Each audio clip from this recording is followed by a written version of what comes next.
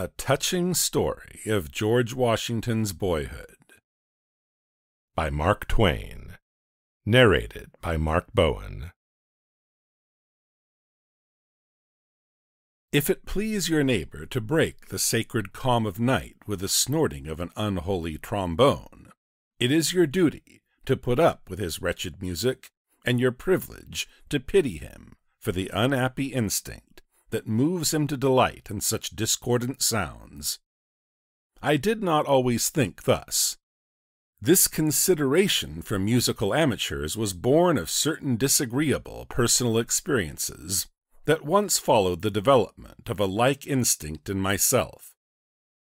Now, this infidel over the way, who is learning to play on the trombone, and the slowness of whose progress is almost miraculous, goes on with his harrowing work every night, uncursed by me, but tenderly pitied. Ten years ago, for the same offense, I would have set fire to his house. At that time, I was a prey to an amateur violinist for two or three weeks, and the sufferings I endured at his hands are inconceivable. He played Old Dan Tucker, and he never played anything else but he performed that so badly that he could throw me into fits with it if I were awake, or into a nightmare if I were asleep. As long as he confined himself to Dan Tucker, though, I bore with him and abstained from violence.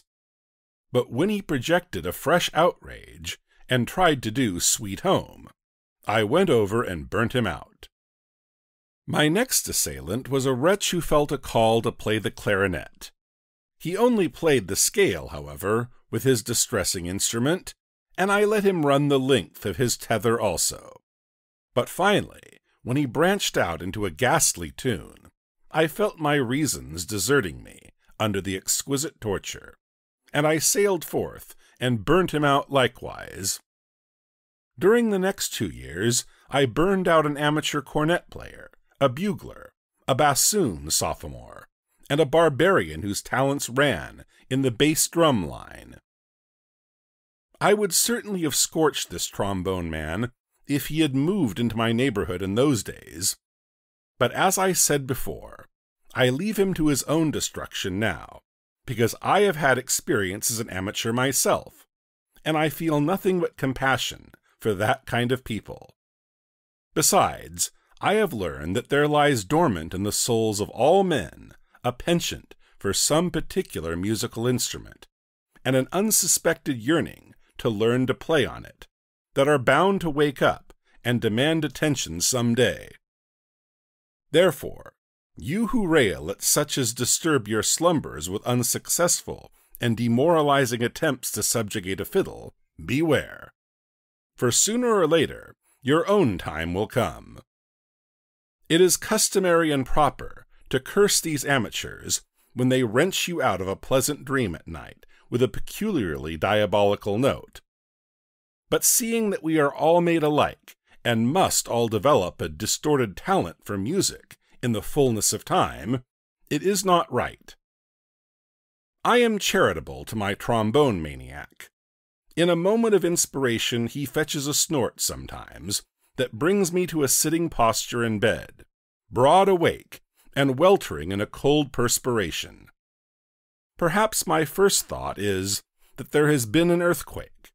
Perhaps I hear the trombone, and my next thought is that suicide in the silence of the grave would be a happy release from this nightly agony. Perhaps the old instinct comes strong upon me to go after my matches.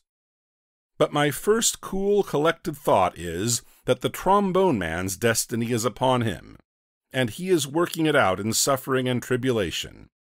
And I banish from me the unworthy instinct that would prompt me to burn him out.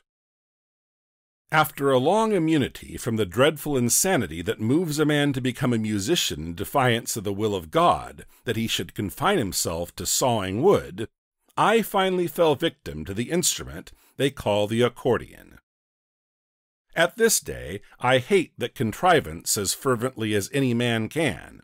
But at the time I speak of, I suddenly acquired a disgusting and idolatrous affection for it. I got one of powerful capacity and learned to play Auld Lang Syne on it. It seems to me now that I must have been gifted with a sort of inspiration to be enabled.